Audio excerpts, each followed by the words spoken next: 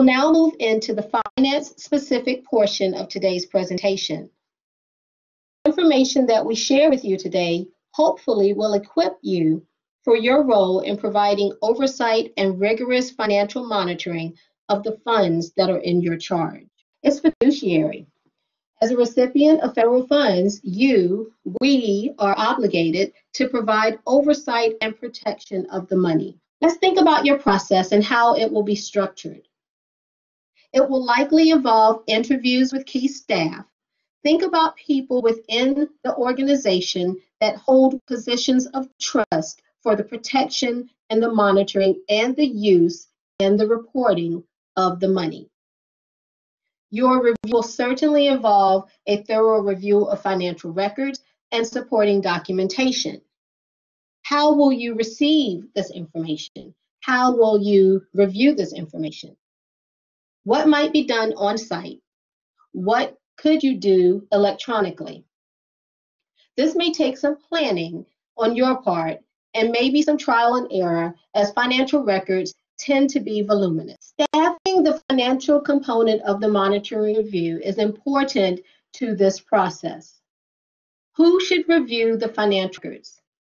Who on your staff is available and knowledgeable of what is required? How will your staff be trained to pick up on key details? Identify and address potential conflicts of interest. Has your staff or the potential monitoring staff previously worked for or with your grantee? Is there any other potential area of conflict that might compromise the integrity of the review? Now we will share information about some financial focal points for the review. I will turn the floor to Marcos. Well, good afternoon, ladies and gentlemen. Um, as we speak about um, financial management and the people, the people that you have to interview, here are some key people that you want to put at the front of your list when you're creating your tools for your subrecipient monitoring. Your financial leader, um, your human, human resource manager, and whoever is responsible for procurement. And in those interviews, me, what you want to do is ask questions around policies and procedures. From the financial leader, you want to ask, how are their financial records kept? Who is responsible for what? um, we send out a detailed um, checklist and monitoring tools for you to know what the state is coming to look for. So I would urge you to look those tools to really pull out what is necessary for the review of your sub-recipients. Um, in each interview, what you want to make sure you definitely ask is, is there any suspect, suspicion of any fraudulent activity? um, depending upon who you're dealing with, you may find out some information that you may not have otherwise known. You want to use these interview these interviews as a tool to really dig deeper for anything that may have been at the front of your mind throughout the year. Okay, cash management. This is where you're digging deeper and you're actually pulling the information of their financial status, um, their bank statements, their financial reports, anything that they've submitted to you throughout the year that's been required via contract um, or for you to stay compliant for state state needs. Um, I'm not sure that you will be giving advances to your subrecipient, but those are things to definitely look at throughout process when you're creating your subrecipient monitoring tools for the year. Um, and again, make sure you put things in your subrecipient tools that will that can span across any sub that you have and that may be something that you have to check on on a regular basis or something that is you know red flag. You know that's something that you just want to always be very mindful of. Anything that you can that you can ask every sub without it being biased um, is a good way to just get to the nitty gritty of what is necessary uh, for your monitoring needs prepaids from the state level, as far as you know, the the local area having prepaids, that is something that's common. We don't see it as often, but we definitely see it more in the metro areas.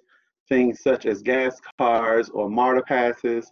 Um, if your subs are doing anything of that nature, this is the space in which you actually create a tool to where you're checking to make sure that they are um, compliant with, first of all, a process as to how they're handling their prepays.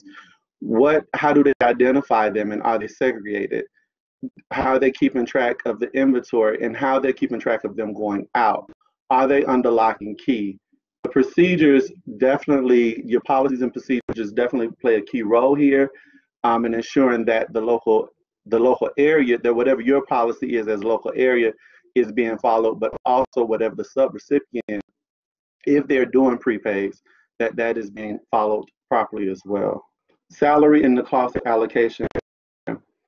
Um, first of all, from the state level, you know, or from the local area, excuse me, local area and the local level, you know that there is a cap on salary per federal regulations.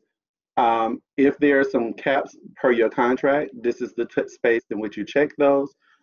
Um, when you are checking to be sure that they're charging the correct time to the correct program, this is where you do that.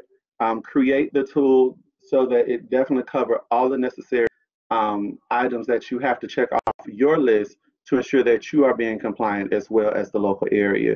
And I'm turning it over to Scott. So this concerns the use of contracting. So we require for subrecipients that they need to include these provisions in their contracts since these are federal funds. These are con these are provisions required uh, under the 2 CFR 200. Uh, if you have any further questions regarding these particular provisions, I would recommend uh, consulting the 2 CFR 200.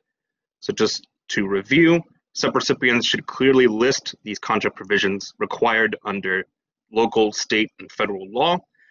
Contracts for more than the simplified acquisition threshold, currently set at $150,000, must address administrative, contractual, or legal remedies in instances where contractors violate or breach contract terms and provide for such sanctions and penalties as appropriate.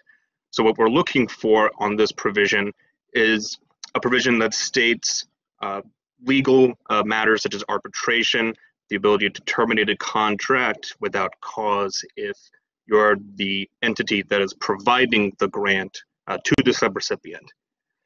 There's there's equal employment opportunity for contracts over 10,000.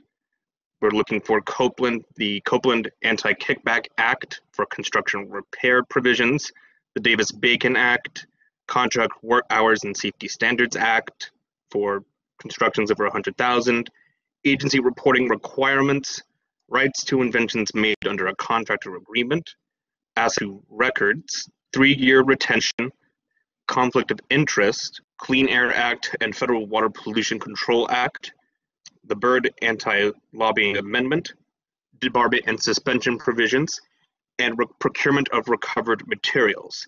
Now, for this particular provision, what we are looking for is a provision that mentions the Solid Waste Disposal Act. Uh, again, you can consult 2 CFR 200 uh, for more information on that provision. So what we are looking for in within the files of these contracts uh, is documents that pertain to, for example, contract price, not based on cost plus percentage of costs profit as a distinct line item that is separately managed and negotiated, contract relationship of a subrecipient versus a vendor. Really, this should be an issue if the person, if what you are monitoring is the subrecipient. Uh, note that this documentation needs to be completed early in the procurement process so that uh, you can see a proper chain that the process was followed under the subrecipient. Uh, payments made in accordance with contract terms and files contained copies of invoices supporting documentation, provider's justification of need for advances, if applicable, relevant status reports as detailed in the written contract agreement, such as performance monitoring, resolutions, reports, etc. Indicate the type of report, uh, correspondence, any correspondence regarding contracts uh, that would could impact analysis of goods or services received, the review or approval process. You should also include required documents such as A complete signed contract that includes the contractor name, contract amount, any amendments and copies of subcontracts or memorandums of agreement, if applicable to those contracts. We're also looking for scope of work, requirements, deliverables, and outlines for measuring performance. Uh, things that you would look for in, say, an application that the subrecipient is providing you at, at when you are looking for procuring contracts approved and signed based on board delegation of authority, as well as the funding sources. So, say you're they are using say dislocated worker uh, money or youth money or adult money under WIOA. Contract administration procedures performed and documented. So we are looking for how these contracts are managed and whether or not the sub subrecipient entity is maintaining those files. So obviously you want to make sure that the files be maintained are up to date for that, for those particular funds. The process improved contract payments. Contract activities are being periodically monitored by the subrecipient. We're also looking at contract monitoring procedures that are performed and documented, compliance with federal, state agency rules, laws, regulations, or program requirements compliance with contract, grant award, and agreement terms and conditions. Uh, all deliverables were received per contract items, and any corrective actions uh, processes for those contracts is in place. So once you've completed your monitoring, uh, you're looking for the subrecipient at whether or not any corrective actions were needed and whether or not those were properly communicated and followed up with with the subrecipient for any particular contracts and then any additional procedures for subrecipients that are in place based on either the subrecipients policies or the local policies uh, for the entity that gave the funds. And then finally, we're looking at closeout procedures that are performed and documented, all goods and services that were received per the contract terms, payments that were approved and correctly calculated, final cost price budget analysis that was performed, uh, any follow-ups with contractors for any problems noted, uh, follow-ups with any with any issues in management as needed. They should also look for procedures uh, for problems with vendor performance that were performed and documented, entity processes that were uh, documented and followed, appropriate levels of management that were notified. And then finally, contract termination procedures that were performed and documented. So if there were any issues that required an early termination of a contract, you're looking to make sure that those processes were followed and documented based on what is described in your own local policies as well as the policies of the subrecipient. And then appropriate levels of management were notified and could follow up on. For subrecipient contract provisions, what we are looking for is when you are reviewing subrecipient contracts that they are actually being identified as a subrecipient contract. For that, we, there are numerous provisions that are required to, uh, to show identification as a subrecipient. So these are required prov provisions such as uh, the Federal Award Identification Number, or FAIN, that is included in the contract. Uh, the CFDA numbers need to be included in the contract. Uh, compliance information provided to the subrecipient that is included in the contract. Any subrecipient monitoring requirements, the Single Audit Act and other audit requirements, uh, technical advice and training provisions, uh, indirect cost rates, notified of requirement to permit pass-through entity and its auditors access to their records for monitoring and, and auditing purposes. So just to reiterate, all of these provisions are things you want to look for uh, as you're monitoring a subrecipient, making sure that all of these contract provisions are in place, and then any corrective actions are followed up on and documented. And with that, I will turn over to uh, Renee Robinson. Thank you, Scott. I'm Renee Robinson with the finance team, and today I will touch base on monitoring in relation to disbursements, purchasing, common findings, and corrective action. The process of monitoring disbursements requires the review of financial samples, monthly credit card statements, monthly travel, and reimbursements. The process of monitoring purchasing requires the review of contracts and purchases made against the contract, bids and competitive procurement, small purchases, sole source, or other non-competitive proposals. Common findings that can deem the grantee as being non-compliant are as follow. Financial management systems, cash management and revenue recognition, prepaid programs, timekeeping, salary, cost and allocations, disbursements, purchasing, contracting, subrecipient financial monitoring. The monitoring team will specify in the financial final monitoring report the period allotted to complete the required corrective action. The LWDA is to establish a time frame to submit a corrective action plan. Findings of noncompliance will require prompt corrective action or sanctions can be implemented. A corrective action response must be submitted within an established time frame of receiving the financial monitoring report.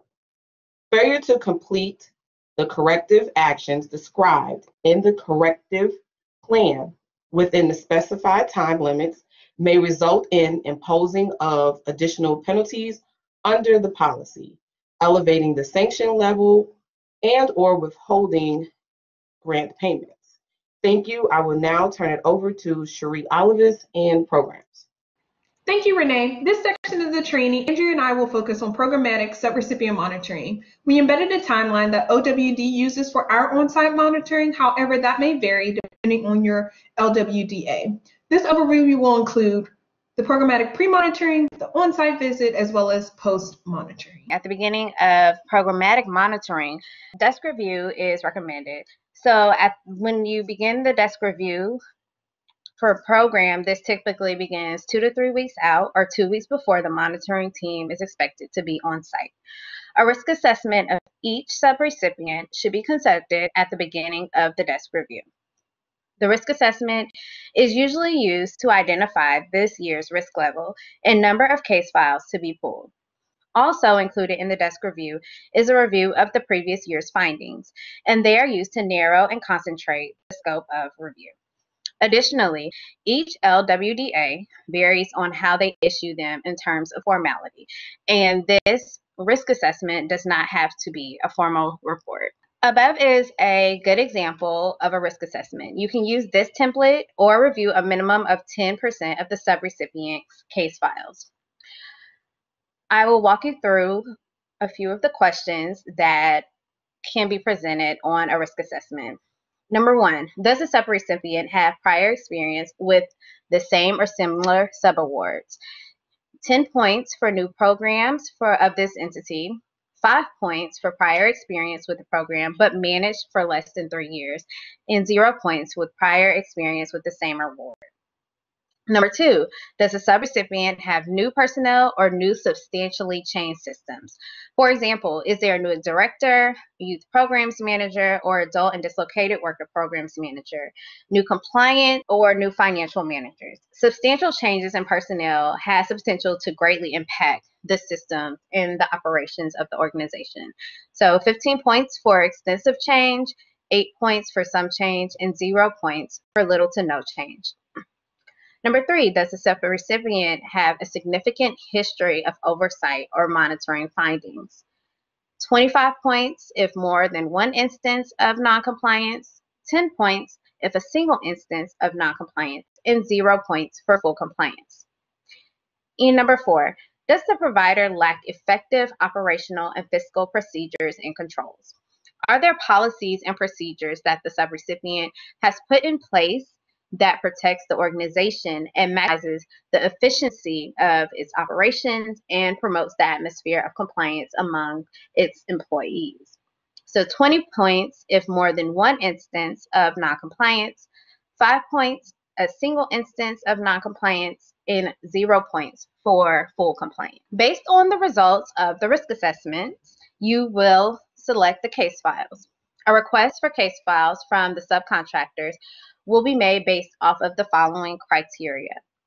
Previous year findings and observations, the risk level of using the risk assessment. The samples can be a percentage of case files or a set number based on the risk level. For example, many LWDAs use a minimum of 10%. And typically, this process of selecting the case files is done about two weeks or two weeks before the on site visit. And the 10% of the case files is a baseline, and each LWDA will adjust it based on their subcontractor's risk level. On site interviews are also included in the monitoring process. We recommend in-person interviews, however you can use video call or phone call, but face-to-face is preferred. Staff to be reviewed um, include director, program manager, case manager, first contact. Um, however, this is not specific, but based on the job functions. For instance, um, what we are referring to as a case manager for that subrecipient, that title may be an employment specialist. Or the first contact may be the one-stop operator. Uh, however, we do recommend that you identify the corresponding individual with the role prior to the start of the on-site visit. We find the most engaging questions during the on-site interview to be open-ended versus yes or no. We always recommend to ask a fraud question. Um, it's also important to ask questions around training. How is the staff trained? How are the how are they updated on policy and procedures changes as well as updates? Um, additional questions. What challenges does that individual face to deliver their services day to day? Is there a need for additional training or resources from your LWDA and or from the state level? Another best practice that we um, we like to see implemented is to document those interview questions as you're asking. Um, so that way at the end of the interview, you're not trying to recall um, some of their questions or to do a summary. So as you ask the questions, you want to document the response. During the the monitoring process, there is a case file review that has to be conducted, and we utilize various tools. a few examples of what can be found on the tools. Um, for the youth tool, you have the eligibility, the documentation, which verifies school status, low incomes, household size, bar barriers, grievance forms, ISS forms, WEX forms, support, supportive service forms, and the signatures if the youth is out of under 18 years of, excuse me. On the adult and dislocated worker tools, you have the eligibility, work or work and employment status, include that includes unemployment insurance benefits, income verification, grievance, priority of service, supportive service, ITA documentation, objective assessment, and IEP. This is not a comprehensive list. These are just examples of what should be included on these tools. And prior to the start of monitoring, OWD conducts a training where we share our tools for the, that program year monitored. Feel free to use those tools or locate your own or create your own that works best for your LWDA and be sure to include local policy specific information. Because OWD conducts an online review of the local areas, the gold standard would be for the local areas to conduct an electronic case file review for your subrecipients. This case file review is typically conducted one week before the on-site visit. What we consider on-site monitoring is the time spent at that facility. However, the monitoring process can be done electronically, especially for those rural areas where counties are widespread. Implementing electronic reviews is suggested as well. Upon arrival on site, we also recommend that you uh, request additional samples. Um, we recommend five, however, that may vary dependent on the size of the grant. Um, and you should notify that subrecipient of those additional files upon arrival, and you should receive them the same day. While on site, you also want to conduct those on-site interviews that were that should have been scheduled prior to arrival. Um, you also want to request missing documentation. We find it helpful to track that missing documentation in a spreadsheet and share that spreadsheet at the end of the review versus as things arise. Um, as you can imagine, you know, if you're reviewing a file, something's missing and they're looking for that information, it can kind of be a shuffle. Um, at the conclusion of the visit, you want to gather all the missing documentation in a spreadsheet, provide that to them, as well as provide a timeline to submit and provide that the missing documentation. And that time span, again, may vary depending on how many files you're reviewing, whether it's a day, a week, um, vice versa. After the on-site visit is done, you want to save and store your tools. I think that is very important to have. Again, you want to include the date and who reviewed each item. Um, so that way, if we come and we monitor those same case files and documentation was missing, um, you have documentation on your end of who actually reviewed that case file and where they put that information that was missing when you reviewed the file as well. You want to ensure all documents are scanned and uploaded um, in the appropriate section on the WorkSource Georgia portal. And also you want to have um, a process to correct, to track the corrective action, whether it's via email, Dropbox, Basecamp, um, or any other um, type of database that you like to use. Now I will pass it to Ms. Karen. Thank you, Cherie. This part of the presentation will cover an overview of the Equal Opportunity Tool as well as the Internal Control Questionnaire. EO monitoring is required for anyone receiving WIOA Title I funds and WIOA Section 188 should be used as a guide to ensure compliance with the equal opportunity and non-discrimination portions of WIOA. Section 188 lays out the administrative obligations for recipients of WIOA funds, such as record keeping, notice, communication, providing universal access, and other duties assigned under the non-discrimination plan. In accordance with these requirements, there must be some form of monitoring of the local area subrecipients to ensure those EO provisions are being met. We are providing our equal opportunity testing tool along with this recording that will go into more details than we have time for. So we encourage you to view the tools at your leisure and borrow any questions as you see fit to incorporate into any existing tool you may be using. Portions of the tool only apply to the local area as the entity being monitored, but there are other sections that can easily be translated to monitoring a subrecipient. For example, one of the interview questions from the EO tool asks, does the EO officer monitor and investigate to ensure that the recipient and its subrecipients are not violating their non-discrimination and equal opportunity obligations under WIOA Title I and this part. The local area can use interviews with subrecipient staff to determine whether this requirement is being met and to ensure that subrecipients have adequate understanding of the EO and non-discrimination requirements that are associated with, associated with receiving these federal funds.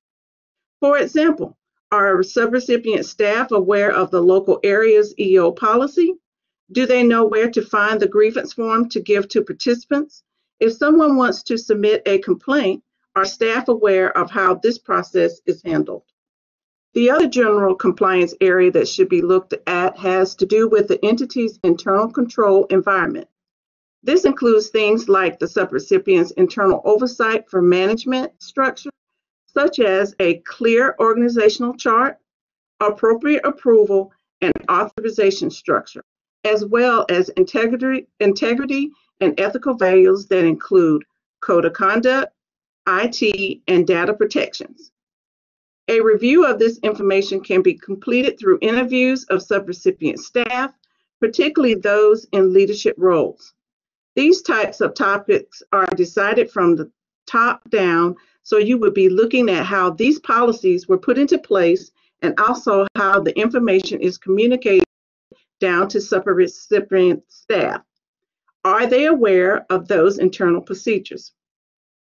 The ICQ tool OWD uses is heavily correlated with the finance tool, and typically when the local area does financial monitoring, these questions are also addressed. But if they are not already included in the financial side in your local process of monitoring sub subrecipients, they should be evaluated. When OWD monitors the local area, the question on our tool mostly deals with policy and procedures, which would have been created at the local level. However, a subrecipient may have their own policy and procedures that pertain to WIOA activities.